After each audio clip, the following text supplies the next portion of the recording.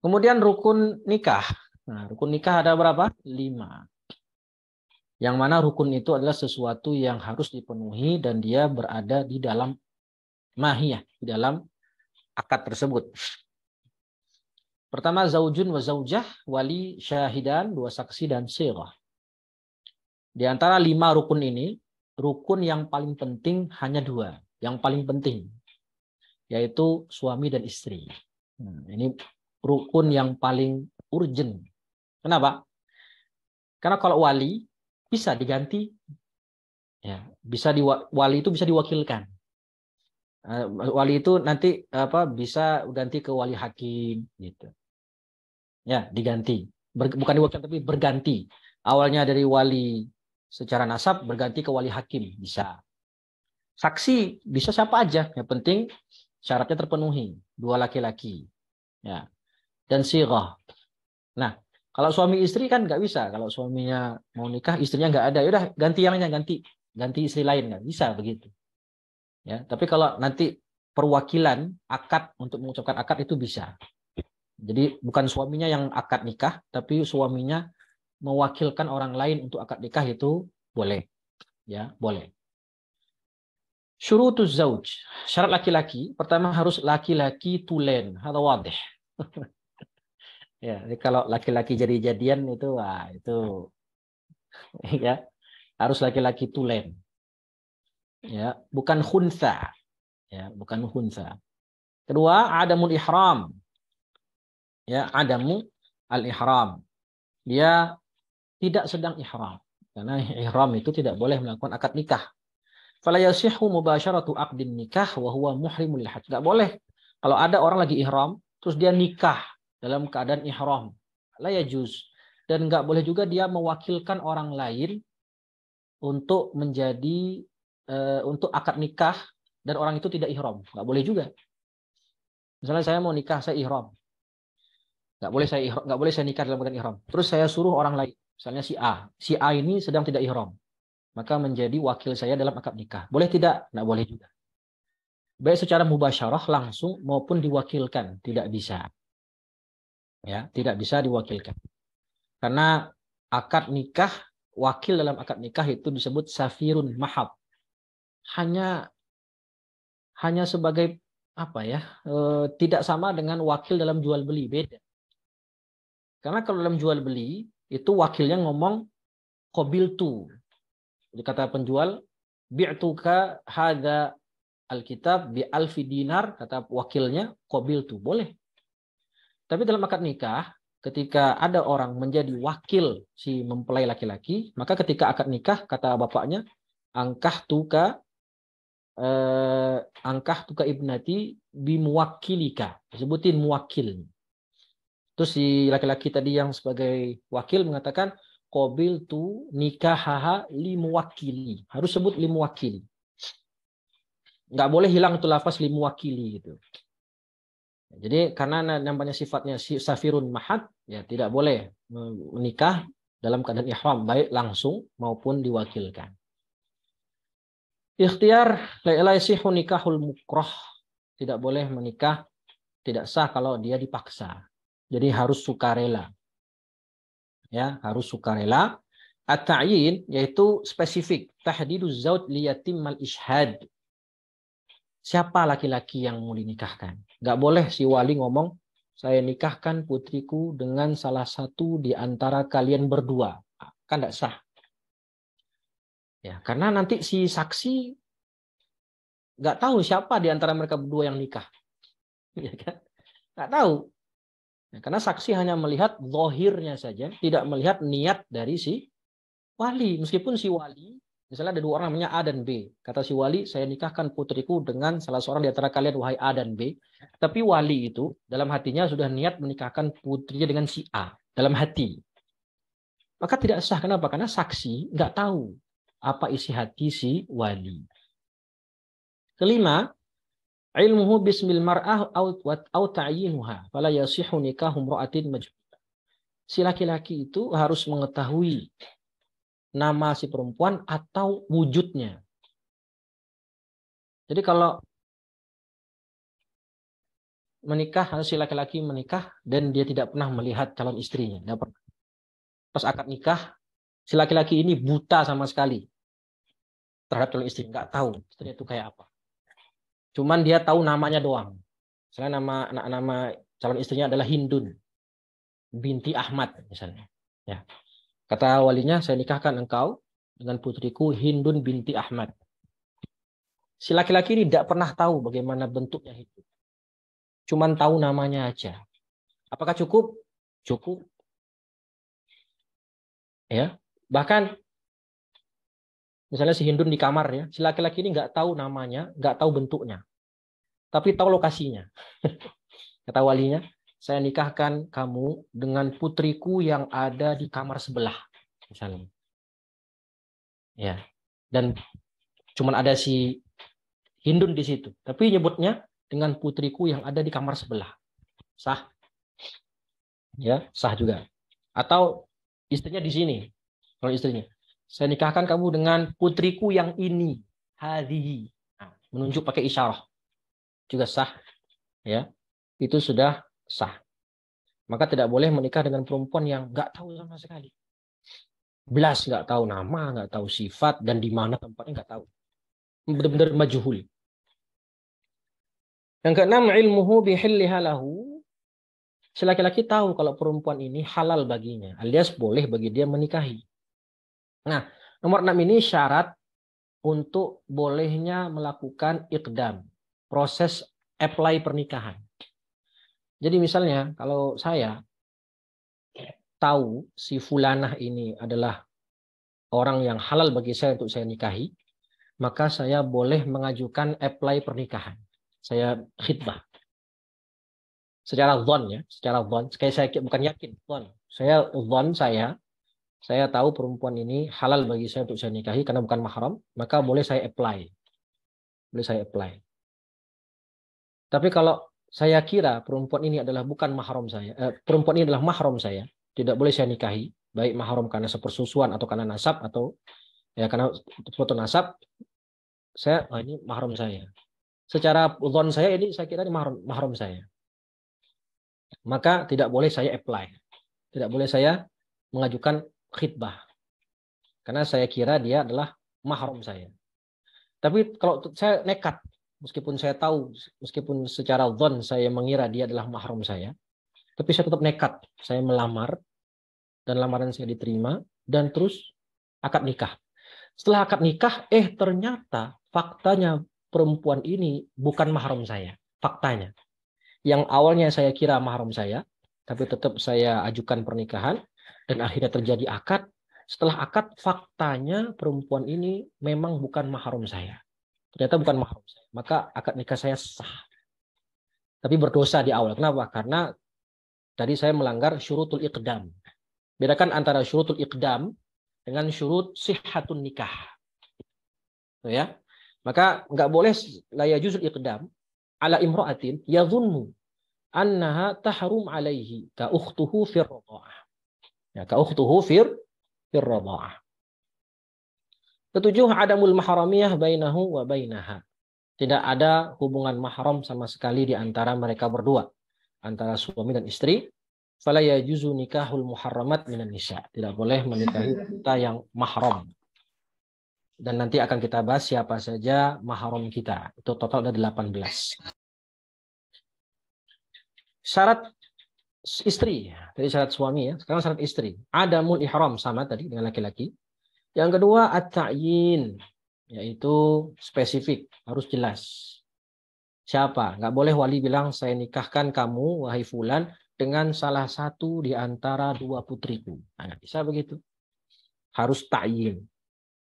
Ya, harus siapa? Fatimah kah misalnya? Atau si Hindun kah misalnya? Ya harus disebutkan siapa. Itu dia ta'yin. Tiga, al-khuluwu minan nikah wa min iddah. Si calon istri tidak sedang dalam akad nikah dengan orang lain dan tidak sedang dalam masa iddah. Nah, ini kan repot ya. Fala yajuzu nikahum ra'atin mutazawwijah au mu'taddah. Nah, kalau nekat menikahi wanita yang statusnya istri orang itu namanya pebinor. Ya, kalau ada namanya pelakor ini namanya pebinor. rebut bini orang. Nggak boleh. Atau sedang masa idah. Ya, dia habis ditalak sama suaminya, masa idahnya adalah tiga kali suci. Selama masa idah tidak boleh dia di khidbah. Tidak boleh dia di khidbah. Tidak boleh dia di khidbah apalagi dinikahi. Khidbah aja nggak boleh. Apalagi di dinikahi. Yang keempat, dia harus laki, perempuan tulen. Kaunuha unsa yakinan. Bukan perempuan jadi-jadian. Harus perempuan beneran. Bukan perempuan siluman. Tam. Syurutus sighah fi aqdin nikah. Nah, sekarang bicara syarat sighah dalam akad nikah. Yushtaratu fi sighati aqdin nikah ma yushtaratu fi sighati aqdil bay'. Sama. Ya, syarat sighah dalam akad nikah itu sama dengan syarat akad jual beli. Sighahnya. Di antaranya apa? Tidak tidak boleh ada fasil, jeda yang terlalu lama. Kalau cuma jedanya sebentar buat ambil boleh. Nah, si wali bilang, saya nikahkan kamu bla bla bla bla dengan mahar sekian sekian sekian dibayar tunai. Si calon suami ngomong, nah, ambil nafas sebentar untuk mengucapkan kobul. Apakah boleh? Boleh. Karena ini fasilnya tidak tidak panjang. Jadi tidak perlu kalau ada pencatat KUA itu oh, ulang harus sekali nafas. Enggak juga. Enggak harus enggak harus habis selesai apa ijab langsung kobul langsung gitu. Tidak boleh terputus. Enggak juga. Ya, yang penting faselnya jedanya tidak terlalu lama. Kalau cuma jedanya sebentar seperti cuma ngambil nafas atau cuma batuk batuk sebentar, maka ini layu kabar. Tidak mengapa dan tidak mengefek dengan keabsahan akad. Lafaz kobulnya itu. Dan ada lagi contohnya adalah syaratnya tidak boleh di eh, ta'liq, digantungkan. Kalau datang bulan Ramadan maka saya nikahkan kamu. Nah, itu tidak boleh juga. Ya.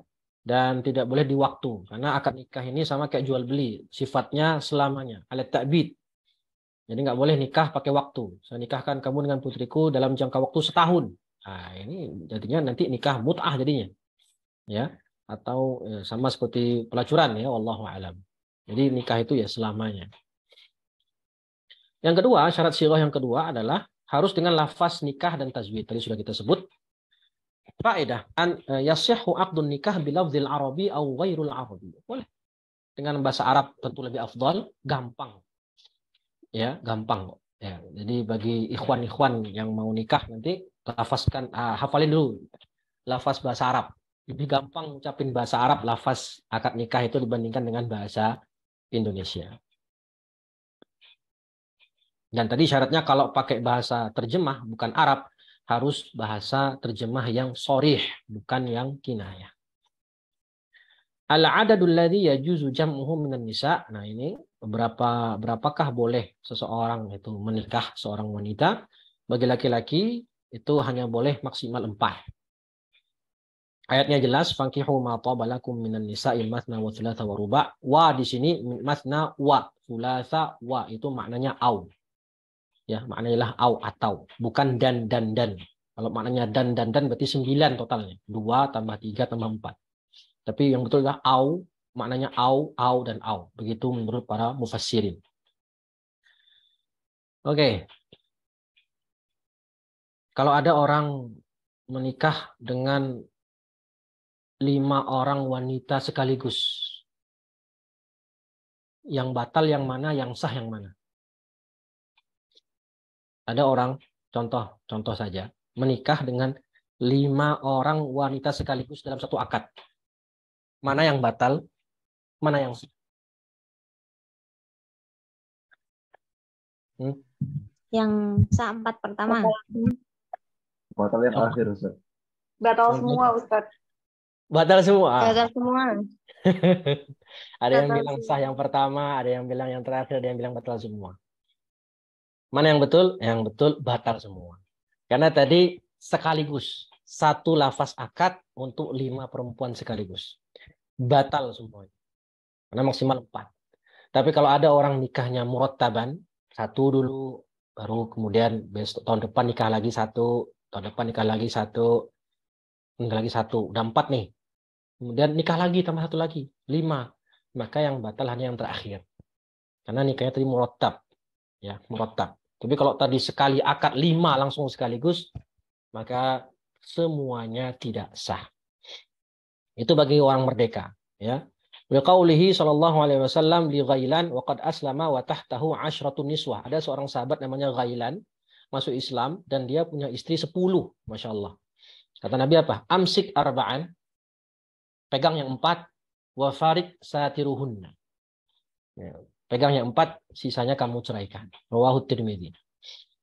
Itu kalau bagi orang merdeka. Dan seperti sekarang ya. Yang kedua budak. Nah, kalau budak ini sudah tidak ada di zaman sekarang. Tapi para ulama tetap membahasnya dalam kitab-kitab fikih karena siapa tahu akan muncul lagi budak di masa yang akan datang menjelang akhir zaman. La yajuzu an yajma'a lahu an yajma'a baina aktsar min itsnatain. Kalau budak hanya boleh dua. Maksimal dua. Sama tadi dengan kasusnya orang merdeka, kalau dia langsung dua sekaligus nggak sah semuanya. Eh, kalau dia tiga sekaligus nggak sah semuanya. Tapi kalau dia tiga berurutan, satu dulu, baru dua, baru yang ketiga, maka yang enggak sah cuma yang ketiga. Dua yang awal tetap sah. Li ijma'i sahabah ala dhalika wa li'anna al-'abda 'ala nisfi min al-hur. Karena e, status budak itu levelnya setengah daripada manusia merdeka dan sekarang sudah tidak ada budak lagi. Alhamdulillah. Faedah. Hmm. Ini mungkin agak sensitif ya. ya. Al-hikmah min ta'addud zaujat. Ya. Uh, apa hikmah dari uh, ta'adud ya atau poligami fi haqqin nabi. Nah, ini khusus buat nabi ini. Khusus buat Rasul Shallallahu alaihi wasallam yang punya istri lebih dari empat kita tahu. Maka ulama berkata, al-a'immah, para ulama, para imam berkata, wa kasratu zaujat fi haqqin nabi litausi'ati fi tablighil ahkam. Tujuannya apa? Untuk supaya istri-istri Nabi tadi bisa mengambil Eh, hukum-hukum syariat dari Nabi terkait hukum dalam rumah tangga. Ya. Anhul waqi'ah sirran mimma la yattali'u alaihi rijal. Yang tidak yang mana sahabat laki-laki tidak bisa mengetahuinya kecuali para istrinya. Ya. Wa naqala mahasinuhu al-batinah fa innahu sallallahu alaihi wasallam kamula lahu dhahir wal batin.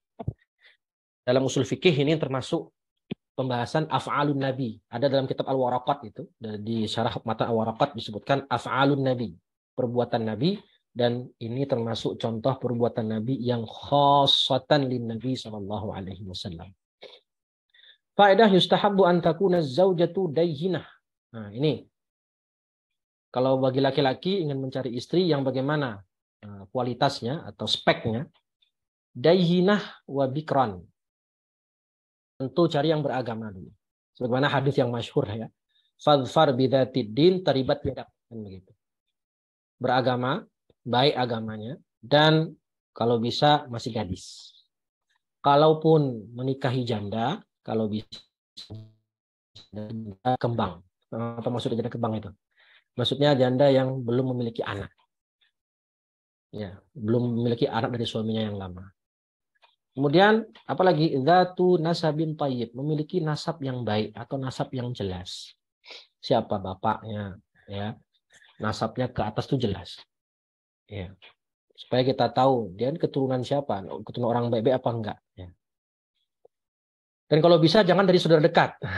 Dengan sepupu boleh nikah dengan sepupu boleh, tapi afdolnya jangan dari saudara dekat. Walaisat ala qarabatin qaribah. Bukan dari saudara atau Eh, kerabat dekat kayak dengan sepupu dalam hukum asal boleh karena sepupu bukan mahram tentunya tapi kalau bisa jangan kalau bisa afdolnya jangan wa antakuna waludan waludan ini uh, subur ya atau bisa mempunyai anak Gimana kita tahu dia bisa punya anak ya kita bisa lihat dari saudara-saudaranya mungkin dia adalah anak keberapa ya punya saudara-saudara dan saudara-saudaranya juga semuanya nggak ada yang mandul mohon maaf ya maka bisa kita katakan oh insya Allah orang ini tidak mandul alias bisa memiliki keturunan. Wa antakuna jamilah. Nah, cantik. Ya, cantik, cantik ini kan relatif ya. Ada yang cantik cantik uh, muttafaqun alaih. yang sepakat ulama ulama lagi. Yang sepakat orang semua bilang cantik gitu ya. Kayak ya siapalah ya, artis-artis ternama itu. Orang semua bilang cantik. Ada yang sepakat, ada yang ikhtilaf. ada yang bilang cantik ini enggak gitu. Relatif. Nah, tapi ada unik nih. Ulama mengatakan kalau bisa jangan cantik banget. Jangan cantik apple gitu. Jangan cantik banget, jangan. Kenapa? Karena kalau punya istri yang amat sangat cantik, maka dia tidak akan lepas dari lirikan laki-laki lain. Itu satu. Ya. Dua, dia akan merasa tafahur. Tafahur itu apa? Membanggakan diri dengan kecantikannya. Nah, kalau sudah seperti itu si wanita membanggakan diri dengan kecantikannya, maka kemungkinan besar nih saya katakan, kemungkinan besar dia akan suka memposting wajahnya di medsos. Karena dia membanggakan diri dengan kecantikannya. Nah, kalau seperti itu kan nanti dikonsumsi orang banyak. Ya, jadi cantik boleh. Nah, cuman kalau cantik banget itu para ulama saja Ya. Jadi cantiknya ya mungkin kalau di presentasi ya 70 persen nah, gitu ya. Lumayan lah, lumayan. nggak rosip, nggak rosip. 70 sesuai KKM. gitu ya. Kata 80 lah, kalau mau naik dikit 80 gitu ya. Kalau 100% itu waduh Masya Allah. Itu nanti kasihan suaminya. Jaid. Wa antakuna zatu khuluqin hasan. Ya, berakhlak baik. Ya, berakhlak yang mulia. Dan ringan maharnya. Ya, ringan mahar. Nanti pembahasan tentang mahar itu kita bahas di pembahasan tersendiri, yaitu bab sodak. Hmm, bab sodak. Apakah boleh perempuan minta mahar gede-gede? Ya, sebagaimana di sebuah daerah kan minta maharnya apa? Uang panis sekian puluh sekian ratus juta gitu, misalnya. Atau minta maharnya mobil Alphard misalnya. Nah, ya ini nanti pembahasannya khusus dalam bab sodak ya, khusus. Faedah zakarul Imam Al-Iz bin Abdissalam. Ya, tahu Imam Isa bin Salam ya? Ini adalah ulama besar madhab Syafi'i yang disebut punya julukan Sultan al-Ulama. Sultan Ulama. Izuddin bin Abdissalam. Nah, dia ini mempunyai kitab terkenal namanya Qawaidul Ahkam fi Masalihil Anam. Buku tentang kawaid tapi isinya tentang makosid, tentang makosid. Lebih ke makosid gitu. Ya. Izuddin bin Abdissalam dan punya buku juga uh, Maqasidus Saum Nah, itu coba ada ada di PDF-nya itu. Maqasidus Shaum lil uh, Izzuddin bin Abdissalam. Ma yufidu annahu kana fi syari'ati Musa jawazu ta'addud min ghairi hasrin. Disebutkan sama beliau dalam syariat Musa alaihissalam itu boleh menikah lebih dari empat istri tanpa ada batasan. Tagliban li maslahatir rijal sebagai bentuk untuk memenangkan maslahatnya laki-laki. Sedangkan dalam syariat Isa itu dilarang ta'adud sama sekali. Al-man'u minhu ay minat ta'adud mutlaqan. Nah, kalau zaman Nabi Musa boleh tanpa batas untuk tagliban li maslahatir rijal sedangkan syariat Nabi Isa itu tidak boleh sama sekali untuk ta'adud. Kenapa? Tagliban li maslahatin nisa untuk memenangkan maslahat bagi si wanita.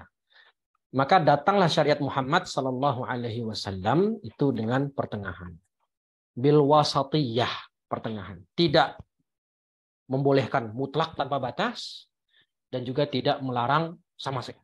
Tapi membolehkan cuma dengan jumlah terbatas.